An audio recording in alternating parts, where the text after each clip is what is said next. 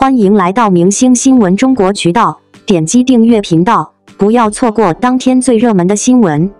杨幂赵丽颖十多年的比较，如今的巅峰对决，在娱乐圈中，赵丽颖和杨幂的知名度和受欢迎程度可谓不相上下。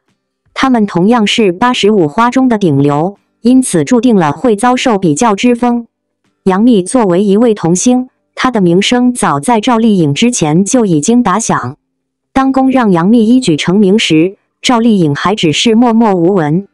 然而，如今却出人意料的发现，赵丽颖已经站在了让杨幂都眼红的高度。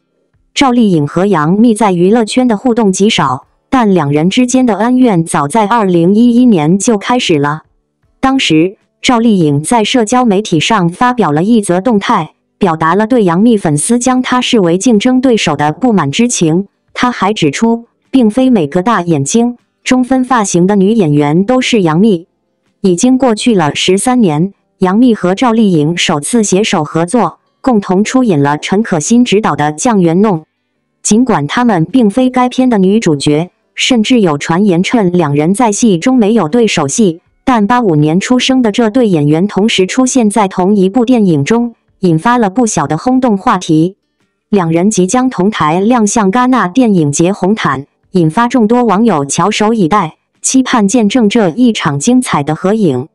两人在电影中的表现将成为他们一场最引人注目的对决。而之前，两位明星的粉丝已经在激烈争论中相互对峙。赵丽颖的粉丝则引用杨幂近期在哈尔滨一九四四和没有一顿火锅解决不了的事中的失利来论证。两人的胜负将在《酱园弄》播出后揭晓。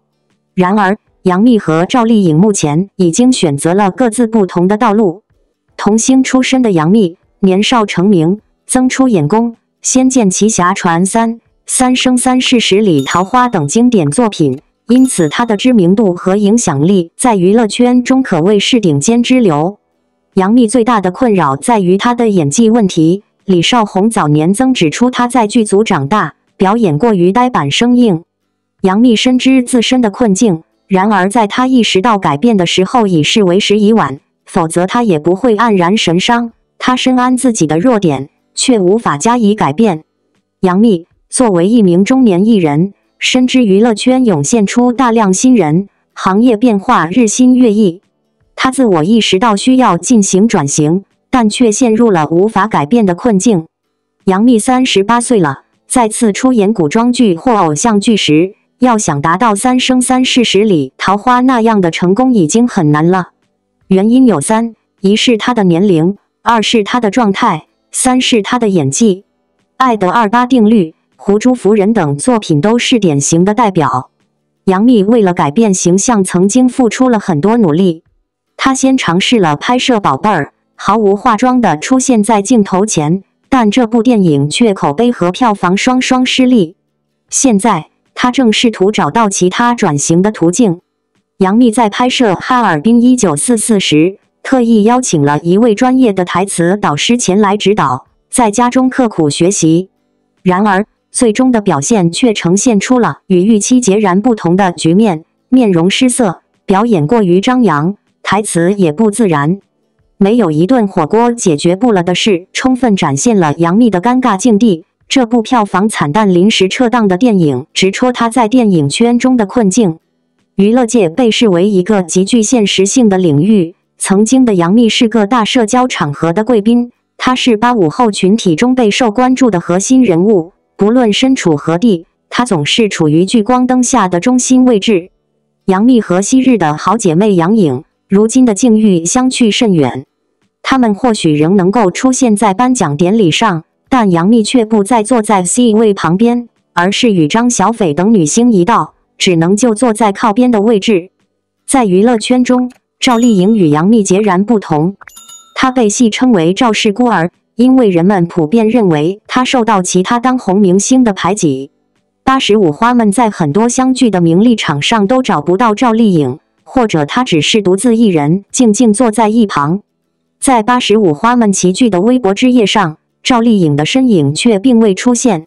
赵丽颖自从在《花千骨》中获得巨大成功后，显然尽管她备受瞩目，但她更注重作品本身，而非只追求知名度。这一点可以从她选择拍摄的作品来看得很清楚。早在很早之前，赵丽颖就开始了她的转型之路。她先是出演了《风吹半夏》和《幸福到万家》，如今更是踏入了电影界，参与了张艺谋执导的《第二十条》以及即将上映的《酱园弄》。赵丽颖在转型道路上与杨幂截然不同，她的表现相当出色，特别是在《第二十条》中扮演的聋哑妈妈备受好评。甚至还得到了张艺谋大导演的青睐。赵丽颖不久前与张艺谋一同出席亚洲电影节，荣获 FAF 新时代奖，这是对她这一代八五后明星实力的肯定。从杨幂和赵丽颖的经历可以得出这样的结论：在演艺界，虽然知名度至关重要，但真正支撑他们持续发展的是实力。近十多年来，杨幂和赵丽颖一直是中国娱乐圈中备受瞩目的两位女星。她们从青涩的新人一路走来，经历了各种挑战和考验，如今已成为业内的佼佼者，各自拥有着庞大的粉丝群体和不俗的成就。然而，尽管他们曾经被不可避免地拿来进行比较，但如今却走上了截然不同的两条路。首先，我们不得不提到他们的演艺道路。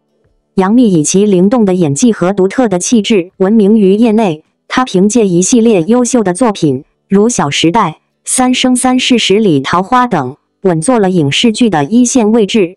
与此同时，赵丽颖则以清新甜美的形象和扎实的表演功底，赢得了广大观众的喜爱。她的代表作品《楚乔传》《知否知否应是绿肥红瘦》等，也取得了极大的成功。两人各自在不同类型的剧集中有着出色的表现，成为了影视界的领军人物。其次，他们的事业发展方向也大相径庭。杨幂在影视剧方面的表现更为出色，不仅深受观众的喜爱，还凭借自身的实力赢得了诸多影视奖项的肯定。同时，她还涉足了时尚、商业等领域，成为了多个品牌的代言人和商业活动的主角。而赵丽颖则更偏向于音乐和商业活动，她的音乐作品和代言广告在市场上也取得了不俗的成绩。她用自己的实际行动向大家证明了自己的多面才华和广阔发展空间。最后，我想对观众们说，在追逐梦想的道路上，每个人都有自己的选择和机遇。杨幂和赵丽颖都是优秀的演员，他们的成功都是凭借着自己的努力和才华赢得的。无论选择怎样的道路，都需要坚持不懈，勇往直前，相信自己，坚持梦想，才能最终走向成功的巅峰。让我们一起为杨幂和赵丽颖加油，期待他们在各自的领域中再创辉煌。也希望每一位观众都能够找到自己的梦想之路，勇敢追逐，勇往直前。王一博赛车归来，爹系穿搭依旧潮。王一博到珠海开了三天的赛车。拿下赛车执照，果然热爱运动的男生就是酷。不过后期开的色系赛车却引来不少的目光，没有想到会这么惊喜。自己的黑豹赛车中途罢工了，只能开着小粉色来。突然发现粉色跟王一博很搭，可爱的骚粉配呆萌的王一博，有种说不上来的唯美、亮眼，还有自己的腔调，就是戳中我们的笑点了而已。好了。不能这么公开调戏我们的王一博，给孩子面子，人家可是酷哥，形象工程还是要给的。不过这次行程很快就结束了，原本以为他会停留几日，没想到当天晚上王一博就马不停蹄赶回北京。去的时候一身清爽的打扮，还记得那款拼接的防晒衣吗？确实让代言的品牌蕉内这两天忙得不亦乐，直接成了大爆款。应景了当下的天气，不愧是行走的带货王，就是这么牛，难怪代言拿到手软，更是推动国货品牌的助力器，平民化更接地气，惠及大众。细数下来，王一博这个大 IP，从头到脚都是宝，行走的广告位，品牌都纷纷抛来橄榄枝的存在。这次出彩的地方就是 Palace 和 Evisu 加运动加潮流，这是王一博穿搭的特色。也是只有他才能轻松驾驭到的地方。去的时候，王一博穿的牛仔裤 Evisu 经典款，修身的同时凸显王一博的身材，回来依旧如故。可是这次的内搭 T 恤是 Evisu 加联合 Palace 的简约款中带着自己的大 logo。不过这次的休闲外套有点跌系，来自于英国的 Barber 绿色休闲外套，有种成熟稳重的感觉。不过在王一博身上就变了风格，反而有种时尚潮流的即视感。其实他家的风格很适合中年人穿，并非所有人可以驾驭的。有些衣服还得分人，每次这种难穿的衣服到了王一博这里，就能穿出自己的风格。这次也不例外，哪怕看起来很爹系，可是搭配一身的休闲运动风，反而增加了休闲感，还有一些潮流混搭的感觉。这次的行程安排的满满当当，就是为了考证，同时也配合一些 Evisu 的活动。看起来王一博玩得很开心。有不少人发现，原来王一博头发剪得这么短，丸子头，有点记的刘海，难怪出席活动需要戴假发，确实是村头哦。王一博不仅在赛车场上展现了他的风采，而且在时尚穿搭上也一如既往地保持着潮流感。他的归来不仅吸引了赛车迷的目光，更让时尚界为之一振。这种多面的魅力不仅体现了他作为公众人物的魅力，更表明了他对自我风格的深刻理解和敏锐把握。王一博所展现的爹系穿搭不仅仅是一种时尚趋势，更是一种生活态度的表达。它代表着自信、舒适与随性，展现了一种对于时尚的独特理解和个人风格的彰显。这种穿搭不拘一格的特点，让人们更加欣赏他的个人品味和审美观。对于我们每个人来说，王一博的穿搭风格都是一种启发和鼓舞。他告诉我们，时尚不仅仅是追随潮流，更是表达个性和态度。无论我们穿着什么样的衣服，都应该展现出真实的自我，坚持自己的风格，不受外界的干扰。因此，让我们向王一博学习。勇敢表达自己的个性，敢于突破常规，展现自己独特的魅力。在时尚的世界里，每个人都有自己的风格和品味。我们应该珍视并坚持自己的风格，让自己的生活更加多姿多彩。